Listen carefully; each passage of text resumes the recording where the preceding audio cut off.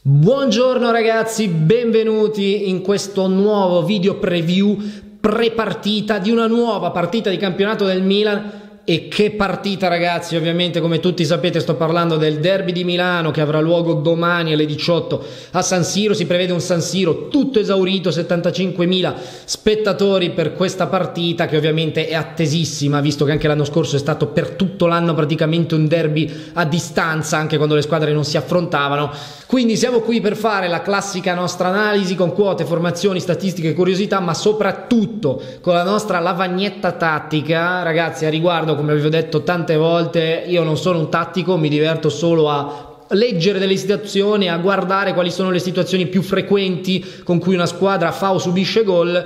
E quindi vi chiedo anche di segnalarmi se ci sono situazioni o esempi che volete portare, li porterò molto volentieri eh, in questo formato, quindi vi chiedo di lasciarli nel caso nei commenti e poi siamo qui ragazzi, soprattutto per la rubrica delle rubriche, quello per cui tutti voi in realtà siete qui, anche chi non lo sa, il collometro ragazzi, il collometro che è già bello caldo, già oggi che siamo alla vigilia.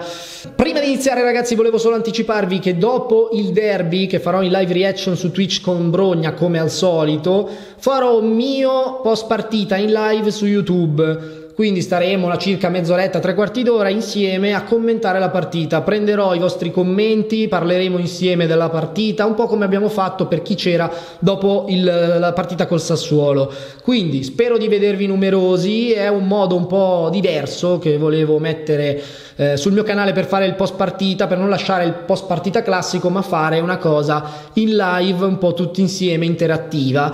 Poi se la cosa vi piace e funziona, perché no, possiamo pensare di renderlo sempre via via un format più completo con degli ospiti, delle rubriche interne dove magari andiamo proprio ad analizzare qualcosina in live della partita che abbiamo appena visto, di altre partite o anche degli avversari o di altre partite che si stanno giocando in quel momento.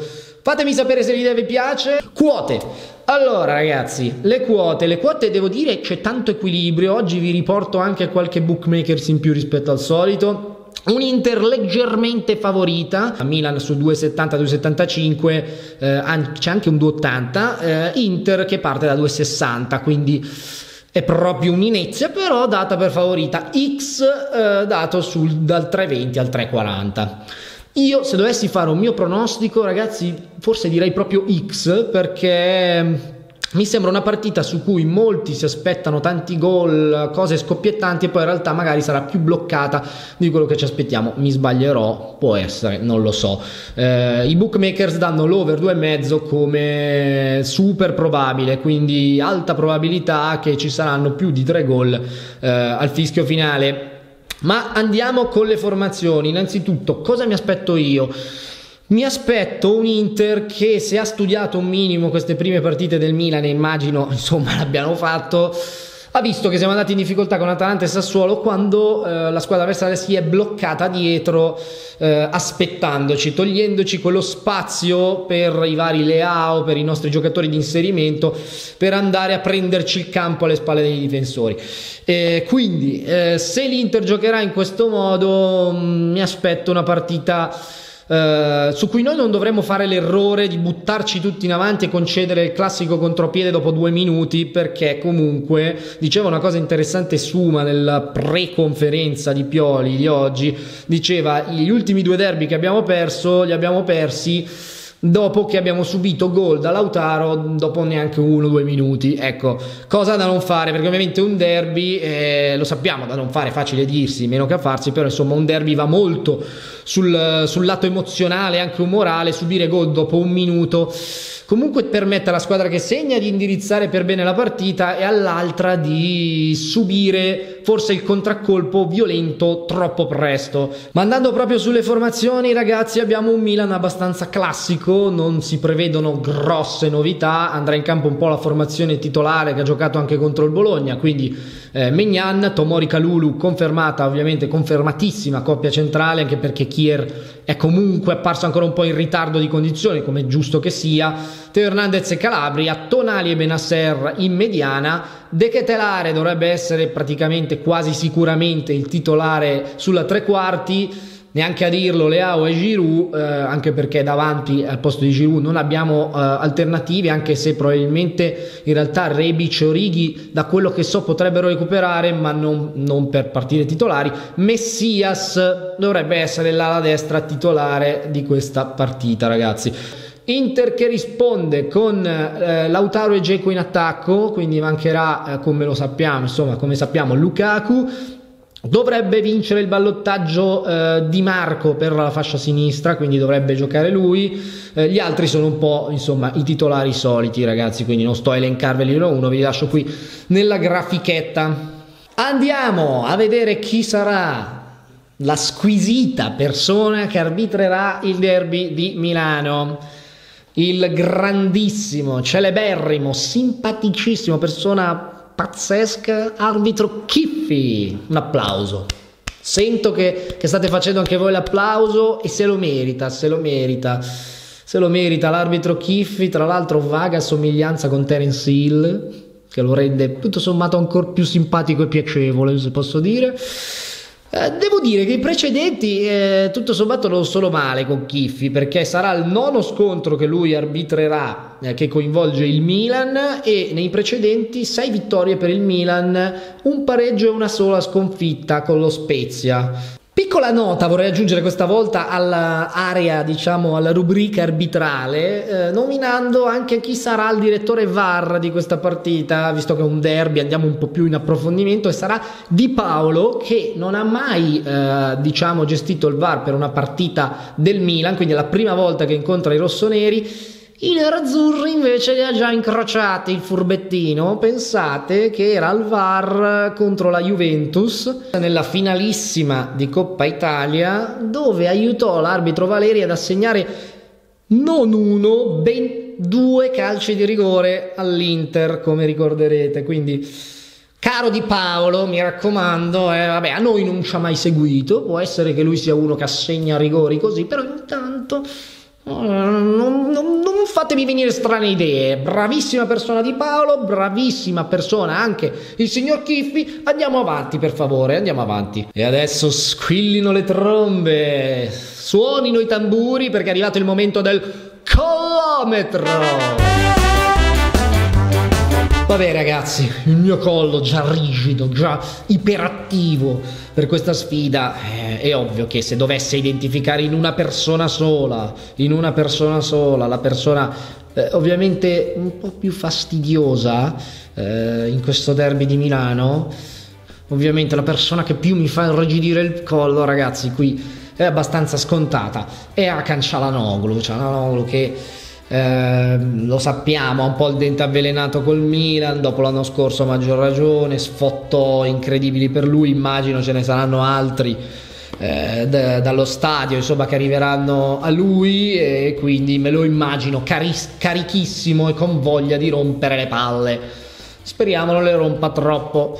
Andiamo ragazzi adesso finalmente alla parte che preferisco, cioè l'analisi tattica.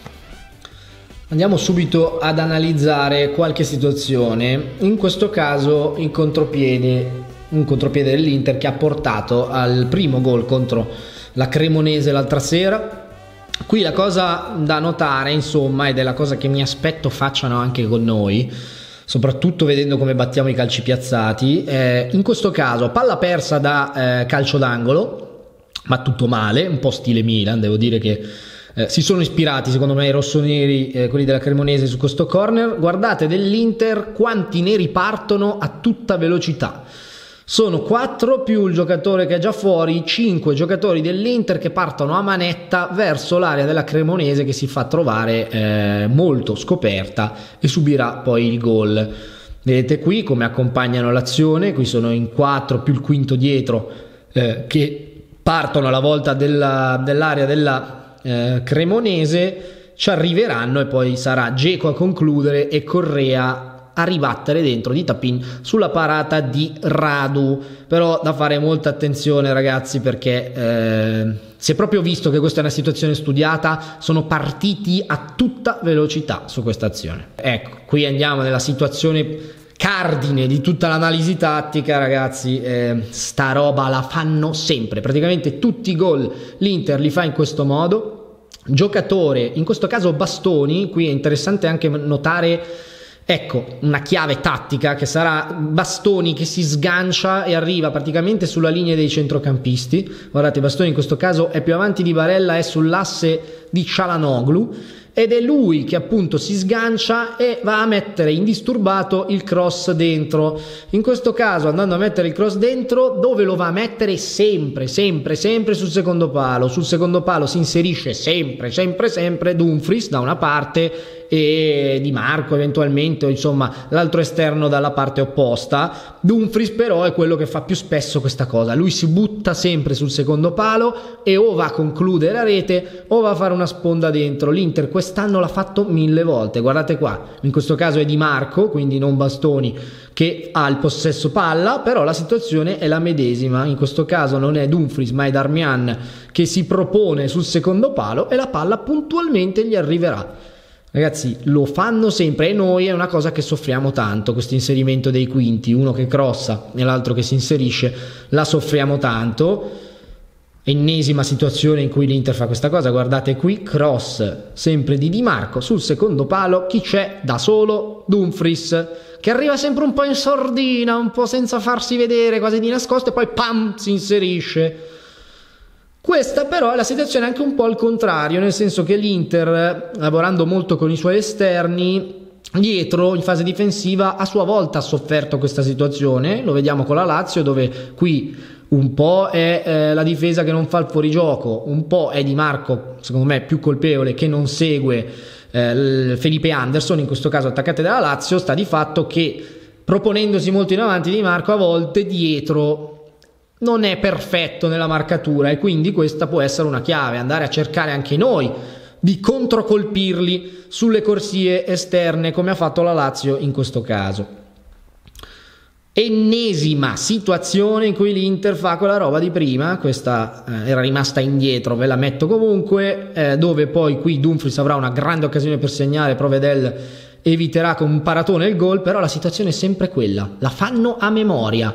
Eh, se riusciamo a chiudergli questa possibilità, secondo me gli chiudiamo tanti dei loro sbocchi offensivi, perché anche in questo caso cross dall'altra parte, inserimento di Dumfries che nessuno calcola e Dumfries non capisco come mai riesca sempre ad andare a colpire così indisturbato. Ecco, spero, spero che Pioli abbia messo non una, non due, ma tre pezze a questa situazione, perché se no lo sappiamo può fare molto male. Questa situazione invece in fase difensiva che invece l'Inter secondo me può soffrire abbastanza e vi faccio vedere il perché.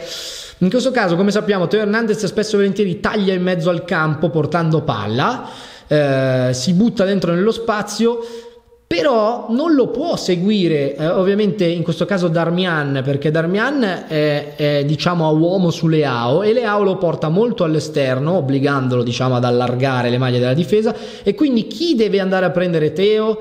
Brozovic quindi lo vedete in questo caso Brozovic fa una corsa eh, tentando di raggiungere Teo che si è infilato in mezzo per andare a chiudere lui, perché non c'è nessun altro in questo caso che può andare a prendere Teo Hernandez.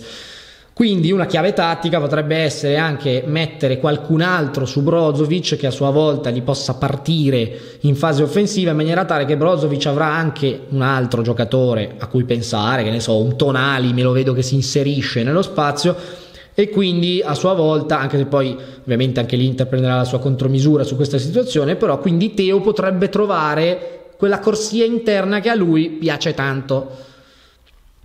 Ecco, questa ultima situazione invece da andare a prendere in esame eh, l'imbucata per Lautaro. Questa è una cosa a cui dobbiamo stare attenti, l'abbiamo sofferta tanto anche nell'ultimo derby di Coppa Italia. Questa è la giocata classica, sempre dall'esterno perché arriva sempre da lì imbucata dentro, taglio di Lautaro che fa benissimo questo movimento ed è un attimo, se te lo perdi Luca, eh, Lautaro lì ti purga, in questo caso ce lo siamo persi e il gol l'abbiamo subito, ecco questa è una situazione a cui dovremo stare attenti, soprattutto se la partita, come abbiamo detto e come ci immaginiamo, sarà di ripartenza per l'Inter, che potrebbe trovare questi spazi, queste imbucate facili. Allora ragazzi, la partita di sabato sarà la 177esima volta che Milan e Inter si affrontano in Serie A e il bilancio, come vabbè, abbastanza risaputo, è a favore dell'Inter. Ben 67 successi nerazzurri contro 53 vittorie del Milan. Diciamo che abbiamo avuto anche parecchi anni bui eh, su cui loro hanno costruito questo record che dobbiamo assolutamente in questo, questo, trend che dobbiamo assolutamente invertire. Pensate che il Milan non vince un derby casalingo dal 2016.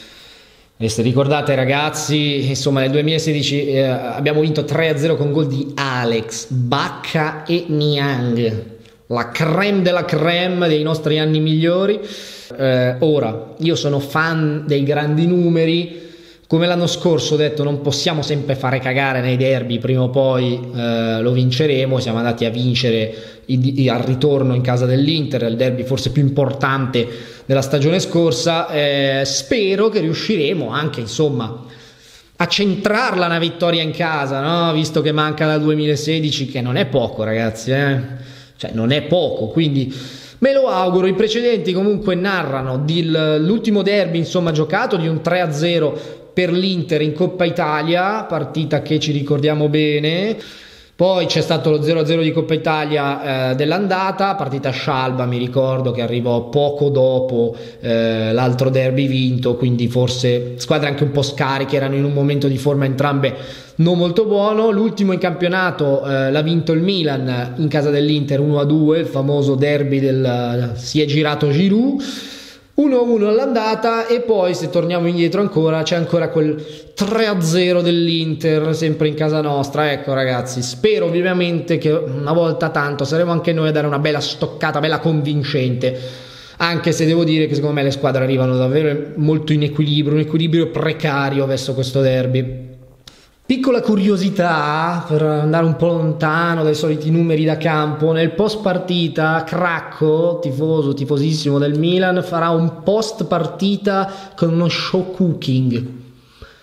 Io ragazzi spero vivamente per chi ha pensato a questa iniziativa di marketing che il derby vada bene perché se no non vorrei mai tiras- gli tirassero le uova, ma Mm, giusto si fa per scherzare ragazzi ovviamente eh? però mi stupisce che non sia nel pre ma sia nel post partita perché lì ti deve andare bene la partita se no rischi che vabbè poi non so neanche come si svolgerà in realtà questa cosa se sarà più televisiva o più da stadio ho solo letto l'ho voluta riportare così perché era simpatica Ragazzi, queste sono un po' le, le, situazioni, le cose che ho preso in esame. Ovviamente sono curioso di un vostro parere, di vostre opinioni, di considerazioni in questa vigilia caldissima del primo derby di Milano di questa stagione. Eh, detto questo è tutto. Tra l'altro in questi giorni, ragazzi, uscirà anche un video bello potente sulla YouTube, sul derby degli youtuber a cui ho partecipato. Ho fatto anche un bel golletto all'Inter e quindi vi metterò tutto in un video che ho fatto apposta io con immagini inedite dove vi porterò in campo con me. Lo vedrete a brevissimo. Ma è tutto ragazzi, ci vediamo al prossimo video.